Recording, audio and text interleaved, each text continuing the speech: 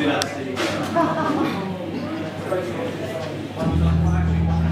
Well, I'm not going to talk anymore, it's just music. No, don't argue.